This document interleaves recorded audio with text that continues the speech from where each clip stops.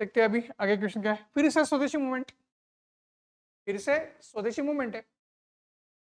With reference to अभी अभी मैंने बताया कि मैक्सिमम क्वेश्चंस स्वदेशी मूवमेंट के ऊपर आए हैं या स्वदेशी आंदोलन के ऊपर आए। हैं? क्या है with reference to consider the following statements ठीक है? Statement number one it contributed the revival of the indigenous artisan crafts and बहुत ही सिंपल है। नाम ही स्वदेशी है। नाम में ही स्वदेशी है। अपने आप पहला स्टेटमेंट आराम से हम ध्यान में ले सकते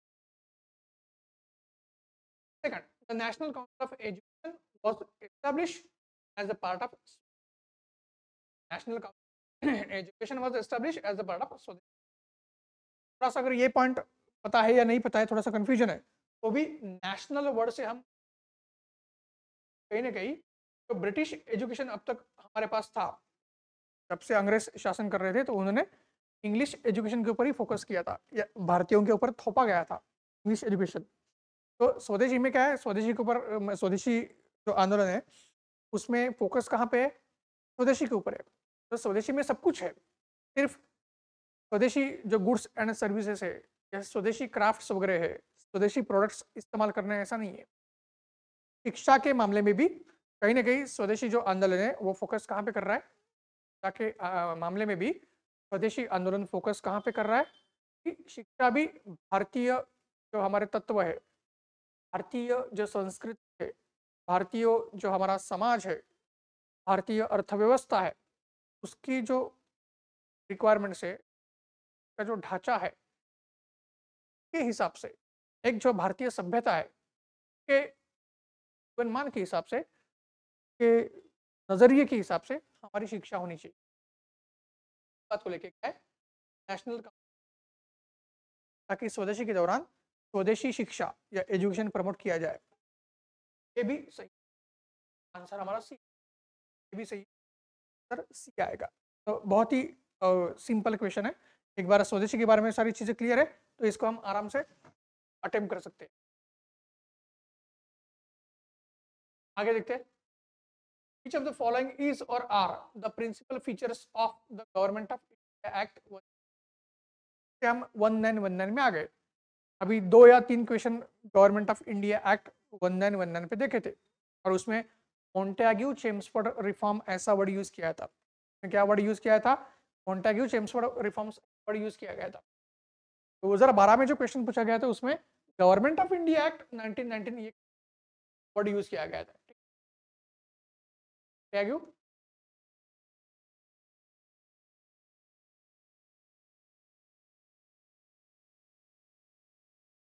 क्या आ गया? Government of India Act one one N आ गया। ये प्रपोजल्स या प्रोविजंस क्या देखते हैं? पहला production of the dyarchy the executive government of the provinces dyarchy provinces में लाई गई, ऐसा बोला गया है।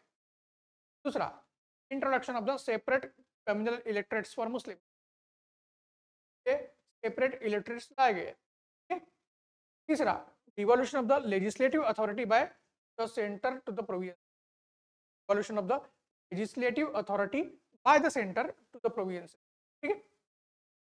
अगर आप यहाँ पे देखते हो तो सेकंड स्टेटमेंट अगर ध्यान में लेते हैं तो हमें पता चलेगा separate electorates for the Muslims they were introduce already in Government of India Act 1919 अभी अभी हमने देखा भी और मैंने बताया भी कि ब्रिटिश गवर्नमेंट की कम्युनल पॉलिसी शुरू हो चुकी थी बंगाल के पार्टीशन के बाद। इनफैक्ट बंगाल को जो पार्टीशन किया गया था, वो भी तो कम्युनल लाइंस के ऊपर किया गया था। वेस्ट बंगाल यानी वेस्ट बंगाल बिहार उड़ीसा ये हिंदू डोमिनेटेड एरिया एंड फिर बांग्लादेश यानी ईस्ट बंगाल आसाम एंड त्रिपुरा का जो एरिया है, वो मुस्लिम डोमिनेटेड एरिया, उस हिसाब से किया गया था। और फिर उसके बाद मुस्लिम लीग को लाया भी गया था। उसके बाद मुस्लिम लीग का फॉर्मेशन करवाया गया था और मुस्लिम लीग एक पॉलिटिकल पार्टी होने वाली थी या पॉलिटिकल ऑर्गेनाइजेशन के दौर पे वो लाई गई थी। तो इलेक्शंस में उसको जीत मिले। तो मुस्लिम्स जब तक उसको वोट नहीं डालेंगे, वो जीत नहीं पाएँगे मुस्लिम लीग के कैंडिडेट्स या मुस्लिम लीग की सरकार आ ही नहीं सकती तो उस बात को लेके फिर ये फोकस किया गया था कि सेपरेट इलेक्ट्रेट्स लाए जाएँगे किसके लिए? मुस्लिम्स के लिए। ताकि सेपरेट इलेक्ट्रेट में क्या होता है अगर किसी कॉन्स्टिट्यूएंसी में या किसी कॉन्स्टिट्यूएंसी से या मत, मतदार जो संघ है वहाँ से मुस्लिम कैंडिडेट खड़ा है इलेक्शन के लिए तो उसको सिर्फ़ मुस्लिम्स ही वोट करेंगे। उसको बाकी लोग या बाकी कम्युनिटीज वोट नहीं कर सकते तो सेपरेट इलेक्ट्रेट कहते हैं। जीत पाए और फिर कहीं ना कहीं जब सारे मुस्लिम मेजोरिटी एरियाज़ और गवर्नमेंट आते रहेगा तो फिर भारत को धर्म के आधार के ऊपर तोड़ सकते हैं, का पार्टीशन कर सकते हैं। वो बाद में हुआ ही अल्टीमेटली पाकिस्तान हो ही गया। ये कब आया है? वन नाइन वन नाइन में आया है। वन नाइन ज़ीरो नाइन में आया है। वन नाइन वन नाइन में नहीं, ये रॉन्ग है। ये रॉन्ग है तो ऑब्वियसली ये गया, ये भी गया। आपका ए एंड सी में एलिमिनेशन है बी एंड डी गया ए आपका वन ओनली है C one and three one definitely correct है। वन डेफिनेटली करेक्ट है क्योंकि जो गवर्नमेंट ऑफ़ इंडिया एक्ट जिसको हम मॉन्टेग्यू चेम्सफोर्ड रिफॉर्म्स कहते हैं वन वन नाइन जो उसके तहत जो प्रोविंसेस है उसमें डाई आर्की या डुअल गवर्नमेंट लाया गया था। प्रोविंसेस है उसमें क्या है? डाई आर्की या ड्यूएल गवर्नमेंट को लाया गया था। ये पॉइंट ध्यान में रखना है। और डाय डायआर्की या जो ड्यूएल गवर्नमेंट होता है तो उसमें क्या होता है बेसिकली कहीं ना कहीं reserve subjects and transferred subjects reserve subjects and transferred subject ये कंसेप्ट आता है। मतलब जो इलेक्टेड गवर्नमेंट है, उसको ट्रांसफर्ड सब्जेक्ट्स दिए जाएँगे। उसको जो सब्जेक्ट हैंड ओवर किए जाएँगे, उसके ऊपर वो लॉस बना सकता है, उसके ऊपर वो इम्प्लीमेंट कर सकता है लॉस को एंड वेलफेयर पॉलिसीज़ को।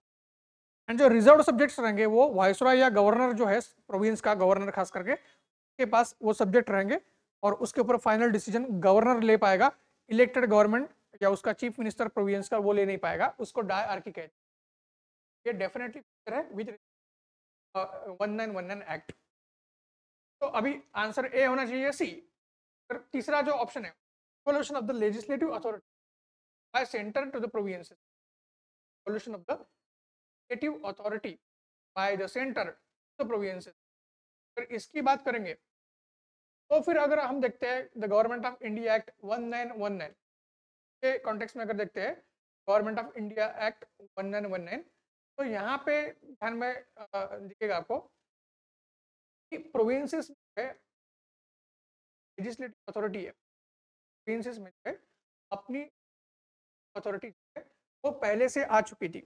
वो पहले भी आ चुकी थी। खास करके इंडियन काउंसिल एक्ट 1860 आने के बाद धीरे धीरे प्रोविंसेस को अपनी दी गई थी। तो Government of India Act one one ने प्रोविंसेस को लेजिस्लेटिव अथॉरिटी दी। पहली बार। बिल्कुल नहीं वो ऑलरेडी आ चुकी थी। क्या है। और इस एक्ट में ऐसी कोई प्रोविज़न स्पेसिफिकली नहीं थी कि प्रोविंस को लेजिस्लेटिव अथॉरिटी दो। हमारा ए आएगा। आंसर आएगा? और डेफिनेटली कनेक्ट करके देखना है। आइए। एक क्वेश्चन पीजन मूवमेंट के ऊपर आया है।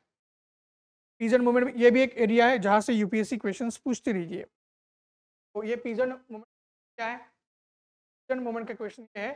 Demand for the Tebhaga peasant movement Bengal what's Tebhaga जो मूवमेंट हुई थी बंगाल में, ये एक पीजन मूवमेंट थी। ये उन्नीस सौ पैंतालीस में आई थी। जस्ट इंडिपेंडेंस से थोड़ा पहले आई थी। पैंतालीस में, और इसकी डिमांड क्या थी?